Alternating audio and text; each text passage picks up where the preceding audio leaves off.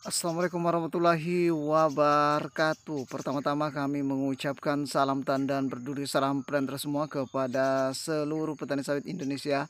Semoga kita selalu diberikan kesehatan juga mudah-mudahan diberikan rezeki berupa kelapa sawit yang berbuah melimpah. Amin. Oke di kesempatan kali ini teman-teman kita coba mereview salah satu pembibitan milik kawan di sini ada keunikan teman-teman. Nanti kami akan berbagi informasi apa keunikan di pembibitan ini. Oke tapi sebelum itu silahkan dibantu dulu channel kami supaya lebih berkembang lagi dengan cara mengklik tombol subscribe. Dan jangan lupa dibagikan video ini mudah-mudahan punya manfaat bagi kita semua. Oke kalau sudah kawan-kawan terima kasih.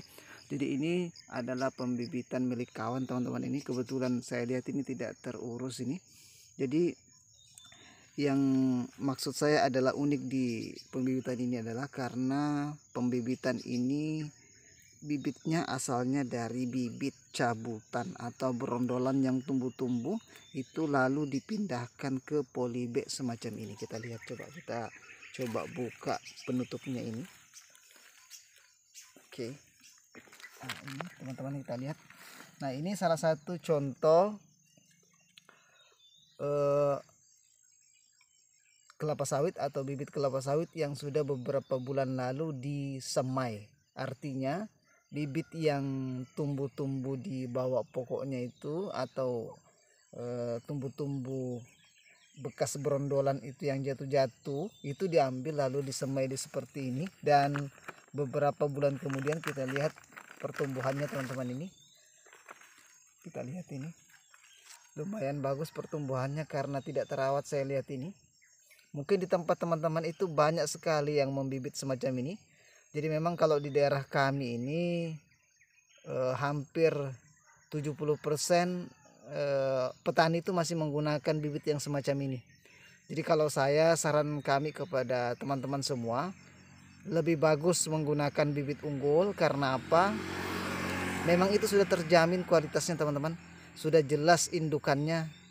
Sudah jelas sekali, sudah ada uh, deskripsi varietasnya sudah ada jelas berapa tonase yang akan kita dapatkan berapa eh, CPO-nya berapa berat janjang rata-ratanya berapa SPH-nya itu sangat jelas untuk yang bibit unggul. Nah kalau yang sejenis ini ini adalah bibit yang berasal dari brondolan artinya kita tidak tahu jelas yang mana induknya. Dan tentunya pasti kalau yang kita ambil begini ini adalah bibit tenera. Ketika tenera itu di silangkan dengan tenera ini akan menghasilkan nanti 25% dura 25% PCPR dan 50% tenera.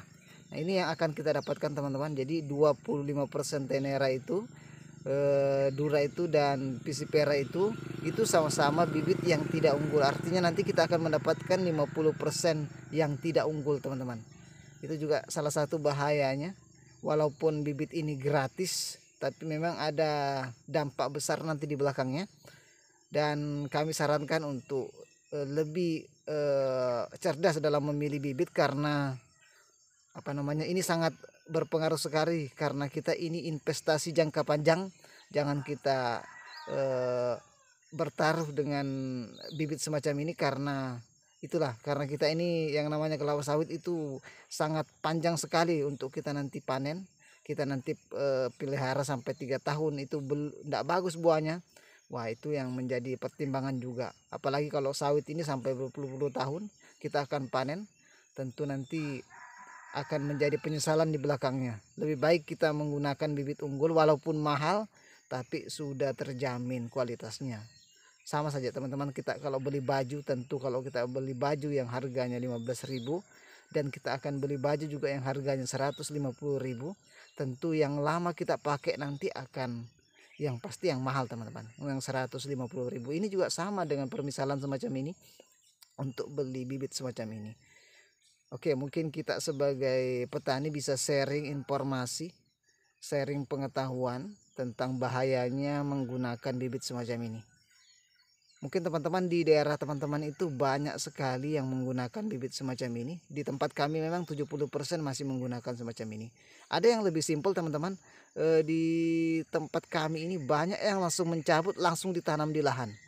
Dia ngambil yang sudah satu satu meter tingginya teman-teman ini satu satu meter tingginya cabutannya itu bibitnya langsung ditanam di lahan itu lebih simpel daripada yang kayak gini kita membibit lagi dirawat lagi. Nah kalau itu langsung dicabut langsung ditanam di lahan.